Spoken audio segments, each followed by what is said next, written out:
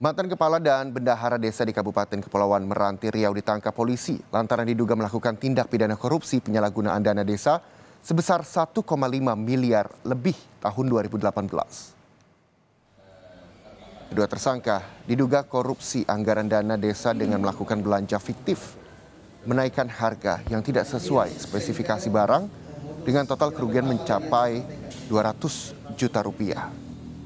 Dari hasil penyidikan polisi, kedua pelaku bersekongkol melakukan korupsi. Dan sejumlah barang bukti yang berhasil disita berupa dokumen, penggunaan dana desa, beserta cap penyedia jasa yang dipalsukan.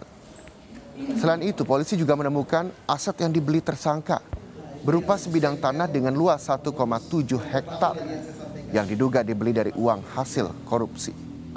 Dan temuan ini masih akan didalami. Uh, permintaan audit tujuan tertentu. Kalau audit ada dua, ada reguler dan audit dengan tujuan tertentu. Nah, dengan adanya proses penyelidikan, kita mintakan audit dengan tujuan tertentu.